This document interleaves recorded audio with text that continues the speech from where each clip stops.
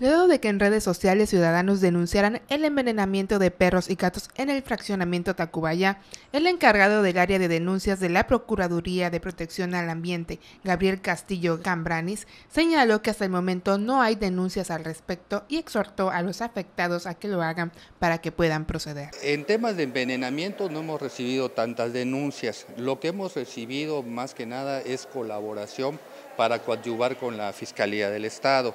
Ellos son los que han tomado conocimiento por, de denuncias de manera penal en la Fiscalía y nosotros lo que hemos hecho es coadyuvar con ellos en la atención con los inspectores que tenemos, enviarlo para apoyar en las investigaciones más que nada. ¿no? Señaló que no todos acuden a poner su denuncia y por ello es más difícil proceder. Además, indicó que en lo que va del año han recibido 42 denuncias por maltrato animal, en su mayoría por tener perros amarrados bajo el sol o en condiciones precarias que agravan su estado de salud. Lo, lo legal es, es y lo idóneo es que interpongan la denuncia, ¿no? ya sea por llamado vía telefónica, se le atiende, de hecho directamente yo soy el que estoy atendiendo las denuncias y sí es, es, es, vital, ¿no?